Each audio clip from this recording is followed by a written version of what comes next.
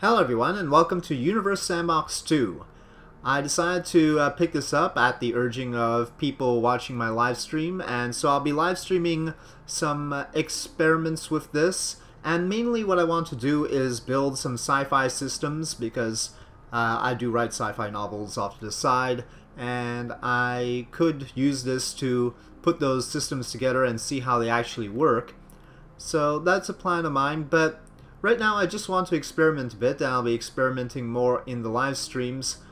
And the first thing I want to target for experimentation is Jupiter.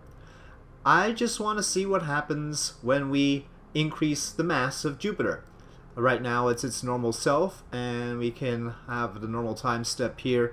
But I'm going to uh, take away some of the outer stuff so that uh, what's happening is more clear. So we've got a lot of these Kuiper Belt objects and all. Uh, so I'm gonna clear it out uh, past Pluto and we will see what happens when I increase the mass of Jupiter. In general, what I want to do with Universe Sandbox is not make things explode. that's that's not going to be my goal. There are plenty of people use, using Universe Sandbox in order to do that. What I want to do is, uh, well, come up with some elegant orbits, basically, and some interesting dynamics. I might be experimenting with different kinds of orbits like uh, cycler orbits and stuff like that, uh, putting bodies uh, in uh, in certain cyclical orbits between planets would be interesting, and we will be doing other systems. So, uh, but it's mostly just you know whatever comes to mind at the moment. And if you guys have suggestions about what I should do, please do contribute them in the comments. All right, so uh, first things first, let me load up the solar system simulation that I had without the bodies that I didn't want to have. Okay, so visited worlds I decided to call it. Since we visited Pluto now, and I'm gonna pause it. So uh, here we've got the, the usual planets, if you will. Uh, you know, and Vesta and Ceres in here. And I am going to click on Jupiter and I'm going to do something that I don't think will have much effect. I'm just going to increase it to 10 Jupiters. So I'm uh, going up an order of magnitude in its mass and we are going to see what happens. I'm going to set the time step to one month per second. That seems to run alright on my system without causing any problems. Uh, it takes up about 30% uh, of my processor. So here we go, and I'll show you what happens after a little bit. So as you can see, the simulation is keeping up pretty well with the one month per second that I asked for. Right now, Jupiter seems to have some deviation in its orbit, so let's take a closer look at it. Semi-major axis 5.16 astronomical units, its orbital period 11.7. Nothing else seems to have been affected too much. We see Earth, of course, having a 365-day orbital period. Saturn says 30.5 years. Its periapsis distance seems to be changing, though. So it is getting affected by Jupiter. But on the whole, I don't expect drastic changes just due to this change in mass. Maybe some of the asteroids will be pulled by Jupiter a bit more. And now the orbital period is going down. Actually, I think uh, Saturn was a 28-year orbital period. Again, just off the top of my head.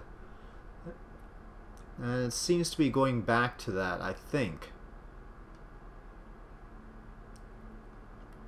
Very interesting. Now, uh, I'm not really showing how to use this. That's not my goal. I am my goal is actually conducting certain little experiments. Uh, but uh, you can change this to orbit, and so we can see the orbits as they are. Okay, it's been about 30 years, and well, right now it doesn't look like too much has changed. Semi-major axis still about the same orbital period, still about the same uh, if I recall correctly, the orbital period of Jupiter is about 12 years. Periapsis distance, apoapsis distance appear to have stabilized. With Saturn, we get an orbital period a little bit less than 28 years. And there is still some change in those distances there. But yeah, nothing drastic. So let's try something drastic. I'll reload the simulation and we will run it uh, with Jupiter being 50 times its normal mass. Okay, so here we go. And so instead of 10 Jupiters or 1 Jupiter, we have 50. And let's see how that works. Go. And one month per second. Saturn's orbital period is once again going up now. Let's take a look at its orbit. Let's uh, view orbit instead of trails.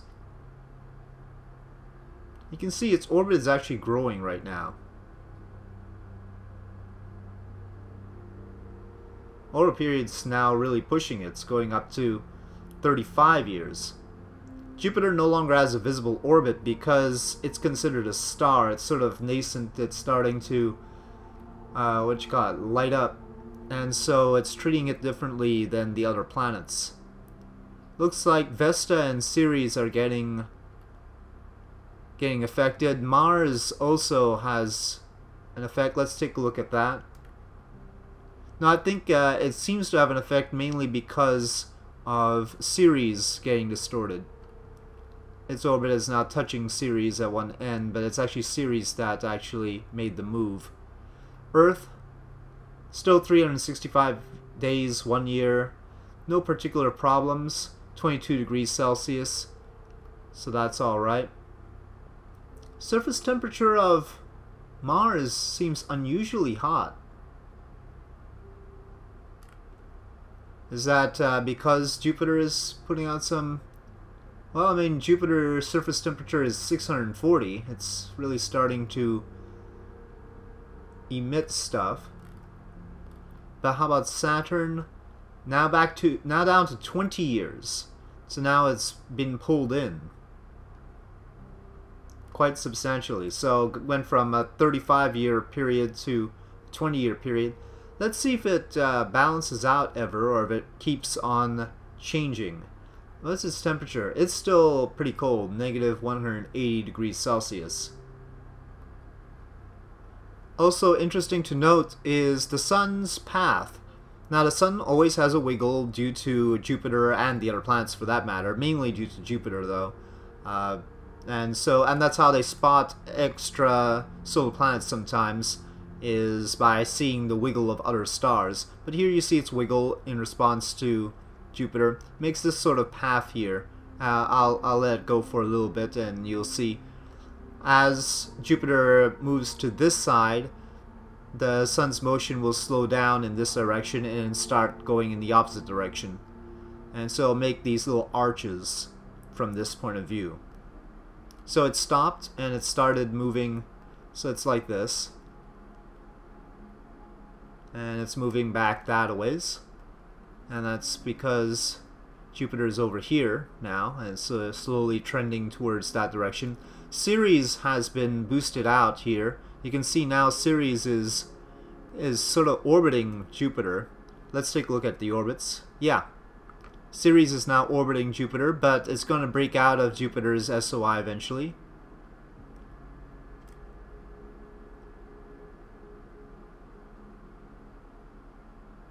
There's Saturn.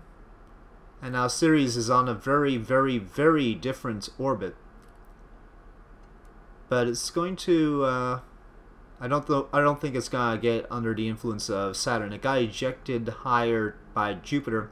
Interestingly, Vesta, in a very similar orbit to Ceres, hasn't had that effect. Saturn right now, uh, actually pretty close to its original orbit, though periapsis and apoapsis very, very different, and so it's in a very, well, it's in a fairly eccentric orbit.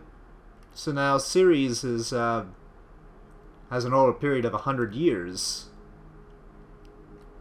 Okay, so we've done this for about 30 years. The Earth is still unperturbed. Neither is Mars. But we start to see some effect with Ceres being ejected, and of course, it seems like the planet that is most affected by Jupiter tends to be Saturn. But let's go to 100 Jupiter's mass. Now, at that level, uh, if we take a look at the, the masses here, 50 Jupiters, when we look at the Sun, is about a 20th of a Sun. And so 100 Jupiters is about a tenth of a Sun. So we start the simulation afresh, and Jupiter now, we can go either way. I could say 100 Jupiters, or I could say about uh, one tenth of a sun. Let's just go for one tenth of a sun. So now it's one tenth of a sun, and you can see that gives it. Uh, well, it's got a red orbit now, and it's all lit. It is now is now burning its hydrogen. And apparently having some flares. I don't know what. No, not the best effect ever, right there. I actually, uh, it's actually 105 Jupiters is one tenth of the sun. Looks like. Okay, still orbiting, but uh, let's see what goes on at one month per second.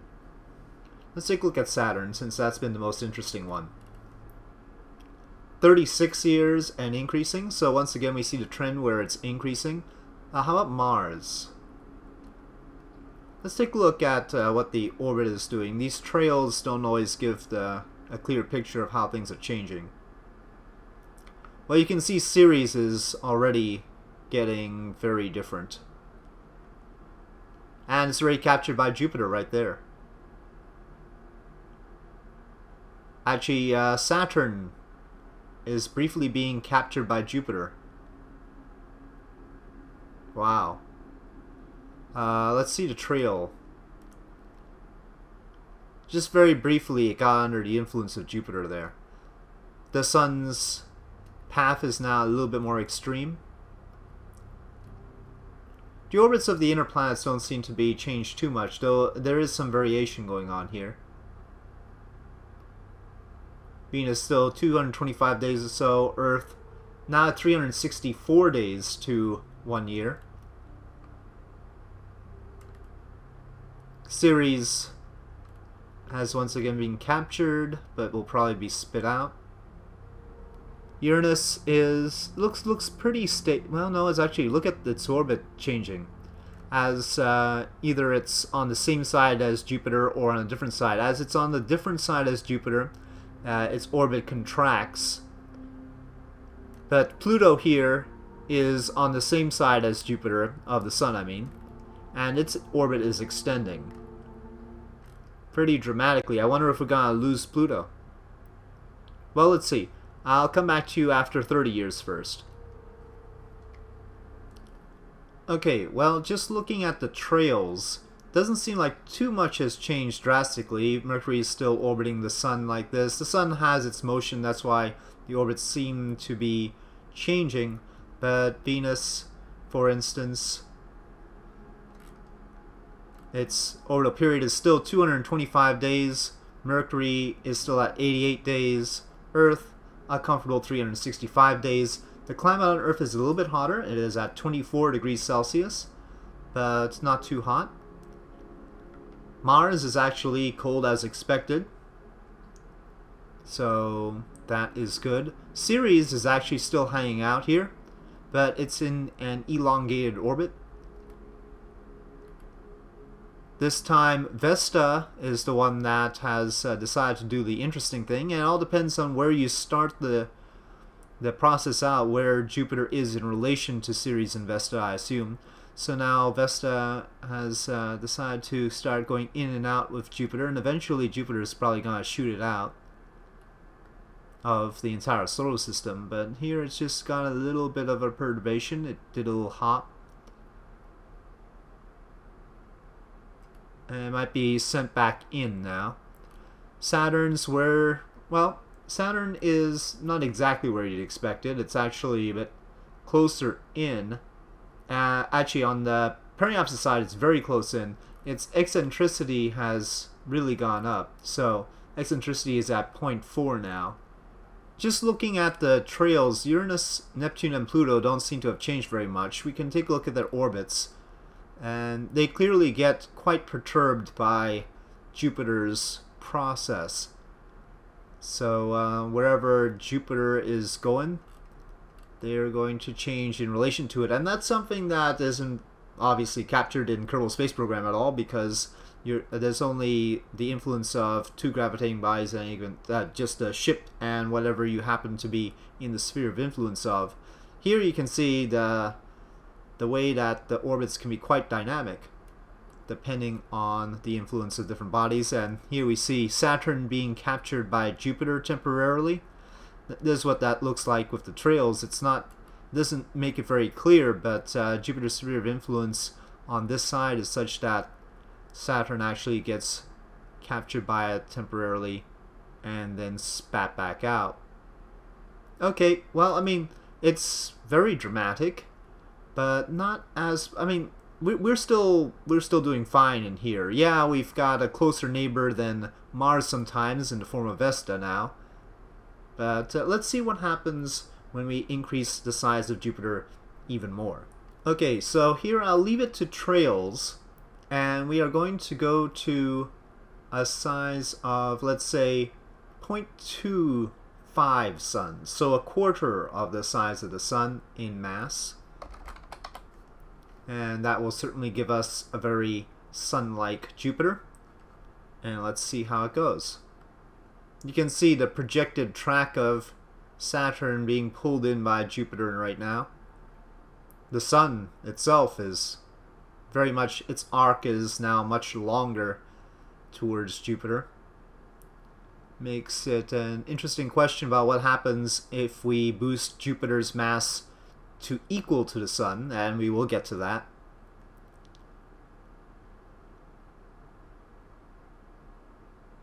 Now the asteroid belt objects are floating all over the place, getting shot out here and there.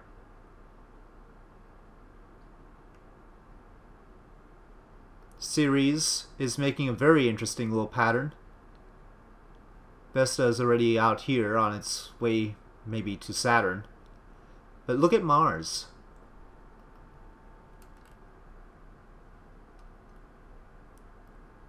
Mars now has a very interesting little path. But what about its orbit? This is just its trail, but the sun is moving as well. Well, its orbit hasn't changed that much. No, it's it's pretty similar to what it used to be. And how about Earth's period? It's uh, 363 to 365, it looks like.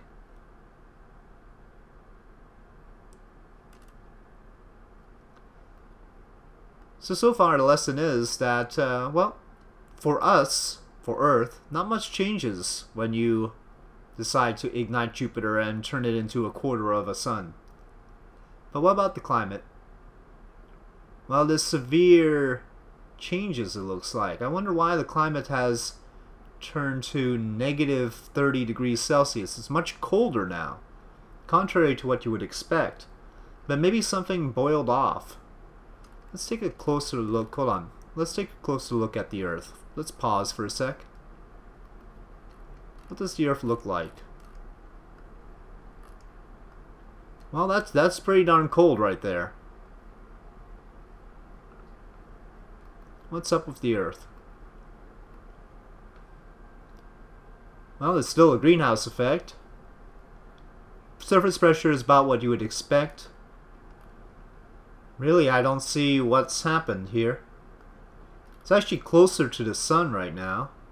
Well, no, that's Apoapsis occasionally gets a little bit further out, but not that much further. So that's interesting. How's its climate now? Still pretty cold. Still very cold. Jupiter's out here. Saturn is in a crazy orbit. It's only orbiting in 8 years now, compared to its original 28. It's not actually closer in than Jupiter, but sometimes Jupiter crosses in. Let's take a look at the trails. Jupiter's sort of making this sort of path, and then the Sun is going in its arches. Mars. Mars is colder. How does this work? Well, maybe, uh, hold on, enable climate. Let's uh, make sure enable climate is on. I don't know what difference that makes. I've just started using this. Well, it certainly makes a lot of lag. Uh, okay, maybe that's not a good thing to do. Anyway, we know that the Earth is icy. Oh, no, it, it seems to be on. Uh, it seems to be an initial lag. And now Earth seems to be warmer.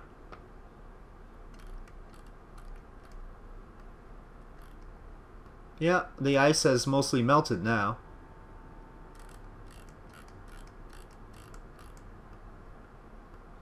Yep, it's warming up.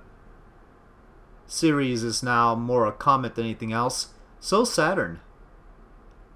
Wait a minute, uh, what's Saturn's period now? Saturn's period is not a number. Saturn has been, been ejected out.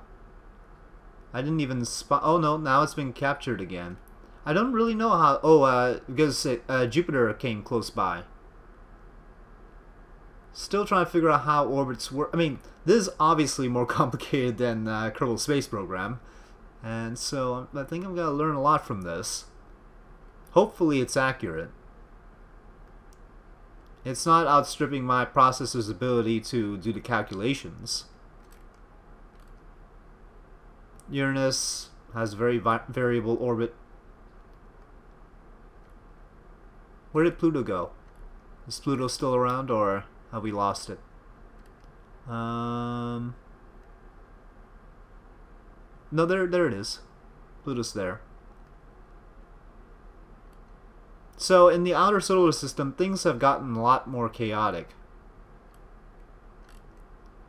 And just in case you're wondering if this sort of a thing occurs just with the regular Jupiter, maybe we should run that. So we've hit 30 years again. Maybe, uh, maybe I should, since we've seen quite a lot of changes here, let's see how the regular solar system runs for 30 years. Okay, so we will run the regular solar system for a while, and then I will jump to the situation where Jupiter is half the size of the Sun. We can see the current paths. Let's see the orbits. Well, the orbits don't seem to be changing at all. Well, very steady.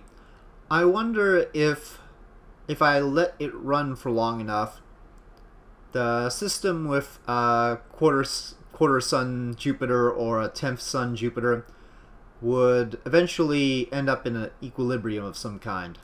And I'm willing to do those long-term experiments, by the way. I think that'll be an interesting thing to run, like, while I'm out and the computer can just churn on it. So maybe I'll let it do that. I don't want to go too fast, otherwise it'll end up introducing inaccuracies. Right now I think it's pretty accurate. Let's see, sim... Uh, let's see, details... I don't know. It says simulation error on error on the order of 30 meters per second. I don't know how to scale that to things. I mean, 30 meters per second. It's you're talking. These numbers are about 70 miles an hour. So I mean, I don't know what that, what to think about that. Oh, they have a yeah. In relation to light speed, not much.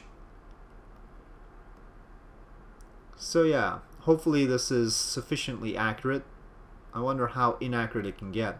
But anyway, you can see how the solar system runs normally. Now let's go to a half sun-sized Jupiter. Okay, here we go. 0.5. Nice and bright. Still bad flare effects. The asteroids are going all over the place now. Very quickly. Venus's steady orbital period that now has some perturbations. Earth, very high differences. 351 to more than a tenth of a year.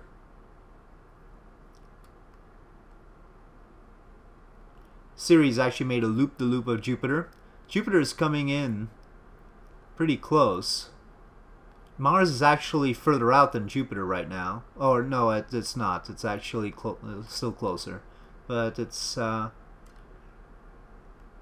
yeah, Jupiter has half of its old orbital period. Saturn is uh, Well, Saturn's got one of those crazy orbits again. It's got. It looks like it's gonna meet up Jupiter at some point. Now it's on on exit, but I think it's gonna be captured by Jupiter pretty soon. Let's see how that looks when it's not in orbit. So Saturn's gonna be pulled back by Jupiter here. No point wondering about what the outer planets are doing. Uh, right now it doesn't look like much, but if you take a look at their orbits, it's gonna be changing like crazy. Oh, it doesn't even want to show it? Oh, that's interesting. Mars and Vesta in orbit around Jupiter. Saturn, well now it's regained its orbit around the Sun. Ceres is like that. Oh, Vesta just got flung out again. Mars has gotten flung out. Mars is on exit. Uranus is on exit. Neptune is coming back in, it looks like, as Jupiter came on its side now. Uranus... Okay, Uranus is back. Pluto's still here. Jupiter has Vesta again. But Mars is all over the place. I think Mars is gone for good. What is Jupiter orbiting at? Uh, Jupiter's Jupiter's got a very eccentric orbit, uh, 0.36, six-year orbit, about half what it used to be.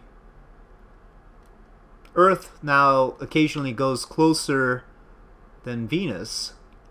Orbital period 310 days sometimes. High of 316. Climate really hot. Probably survivable. Venus, well, it's still runaway greenhouse effect and all that. What's going on here? Uh, Jupiter, uh, Jupiter is doing something weird with Pluto, I think. Jupiter is coming rather close, and it's still got Ceres and Vesta in its orbit. No, I think uh, Ceres might be in the... No, it's orbiting both. Uranus is still confused. Pluto, now things objected. Mars, Mars is not coming back. Mars is not coming back. Saturn, Saturn might not be coming back. I, no, Saturn, Saturn's indecisive. I think, whoa, uh, Earth just got captured by Jupiter. Earth is now orbiting Jupiter with Vesta. The Sun only has Mercury and Venus left. Oh, uh, maybe the sun can get Vesta back? Nope, Vesta's been slung out. Uh, maybe, maybe not. Ceres is uh, looking goners. Saturn is looking goners.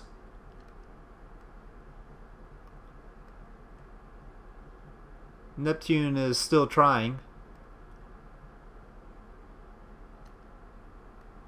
Okay, let me uh, run this to 50 years and we'll see what's left of our solar system. Okay, well, we're coming up on 40 years and let me give you a status update. Earth was briefly recaptured by the Sun, but it's back with Jupiter now. Jupiter is currently orbiting still in uh, where it was, basically. Earth has a 200 day period or so around Jupiter. Climate, hot really hot. Stuff continues to happen. Neptune, Uranus, and Pluto are the outer planets constantly looking like they have some sort of really elliptical orbit. Mars Mars is gone. Ceres is gone. Saturn, amazingly, is gone. And uh, Vesta, Vesta eh, might still hang out but I think it's also gone. Let's look at the trails. Sometimes, I mean, actually when it comes to elegant orbits, actually the trails make it look a lot neater than it would otherwise. If you just look at the orbits, it's not quite as much fun actually. The trails now uh, Mercury, of course, in a very steady orbit, but it's making this little spiral and the Sun is moving in, with respect to Jupiter. Looks sort of like that. And Jupiter, Jupiter's got a bunch of little asteroids around it. That's why it's got some of the little flickering lights around it there. Earth, you can see, is in a very odd orbit. It's more influenced by Jupiter than the others. Still no equilibrium after 50 years.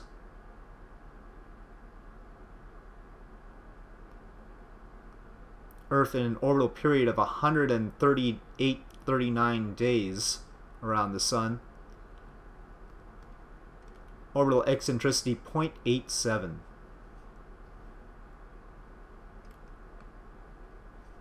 And if we pause and take a good look at it,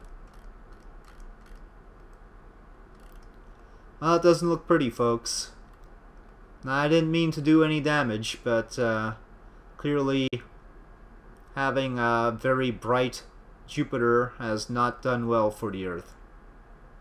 But what happens if Jupiter was equal in mass to the Sun? Let's find that out next. Okay, here we go. Jupiter, terms of the Sun, 1. Okay. Well, let's keep it to trails, because that's sort of the more... Well, it just looks better. And let's see what happens. One month per second. Mars is sort of heading... Well, no, it's... Uh, given the motion of the Sun, it's not heading too far out. Saturn's really, really serious here. Actually, the Sun and Jupiter seem to be much more decisively orbiting each other. The Sun's arc is very wide and Jupiter's... Yeah. Earth... I think Earth might end up being really cold this time. Earth is heading out. Yep, Earth now has an orbital period of 8 years, 9 years, 10 years. Got shot out. Saturn made a loop-the-loop -loop of Jupiter there. Mercury. Nope, Mercury. Where are you, Mercury? Mercury's still 88 days, but certainly more perturbed than usual. Venus, though. Venus is totally different. Let's take a look at the orbits now. Well, yeah, that's... That's different. Jupiter has captured Venus. Earth is all the way out there. 14-year orbit at the moment. But you can see, I mean, just within the course of a month, how much these orbits change in this circumstance. Will they ever become stable? Earth's periapsis seems awful low. No, it's raising it now.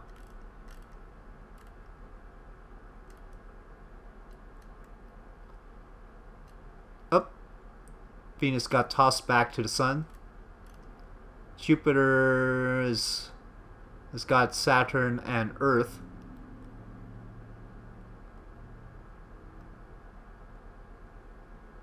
Pluto is looking like that right now. Okay, trails again.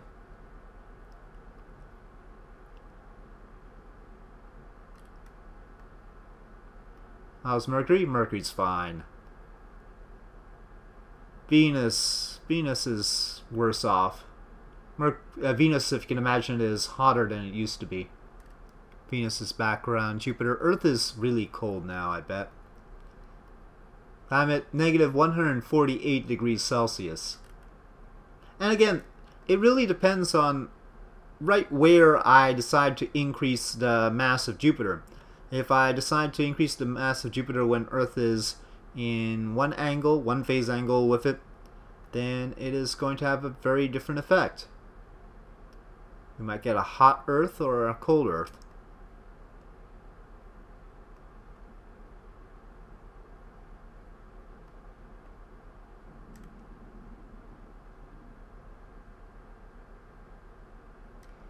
Now that was an interesting turn. Look at the path of Earth like there. That was a nifty turn.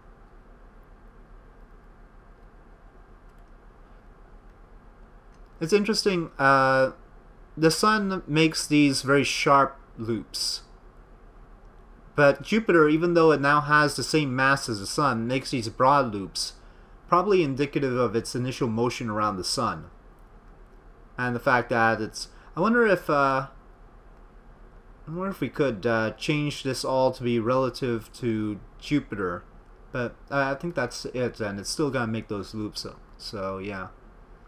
Yeah, I think it's its initial motion around the sun that's causing the wider loop like that.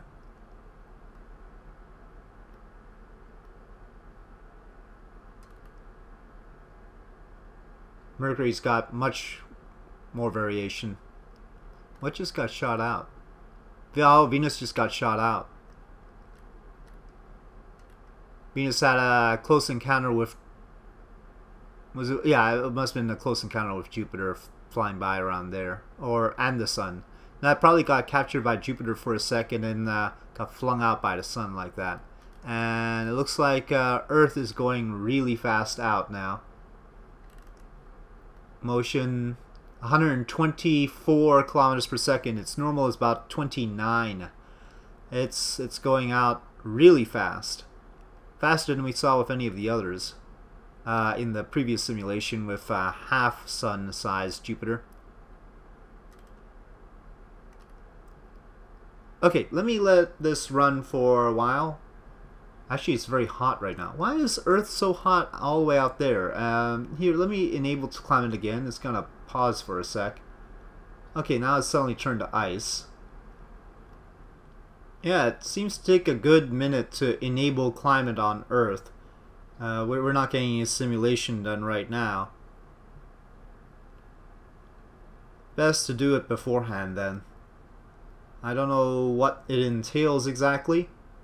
I'll have to take a look, but uh, yeah, it's taking its own sweet time getting it done. Seems like it's turned Earth cold. It's not reading it here right now. We could actually get a chart of the surface temperature, is that what that means?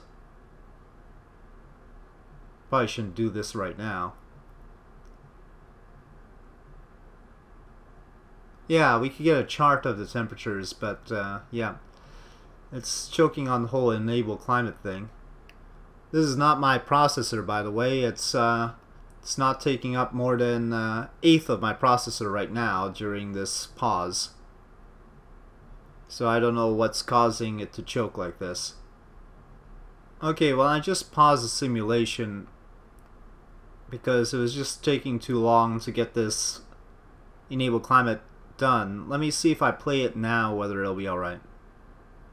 No, it's still slow. Okay, let me pause it again now and I'll turn off enable climate and see if it can run properly. Okay.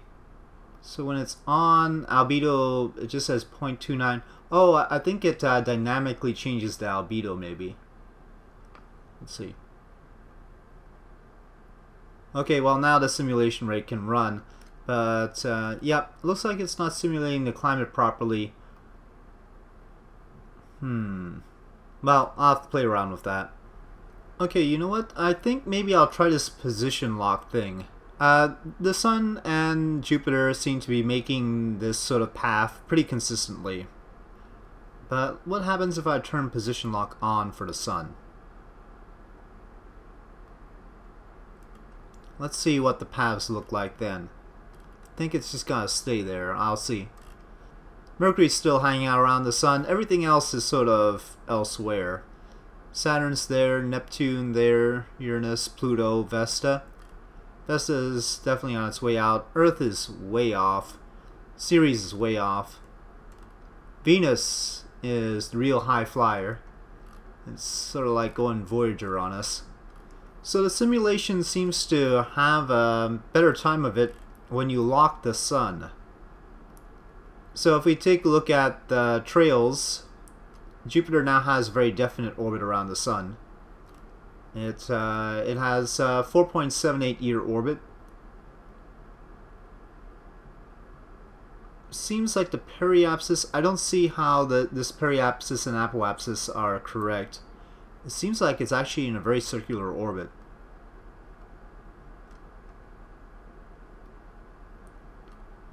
Mercury's still hanging out there. So we've stopped the position of the Sun, and if you take a look at orbits, unfortunately because there's a star now, it doesn't really show its orbit like that, but Saturn has a stable orbit around the Sun. What we have here is Pluto does not have a stable orbit around the Sun.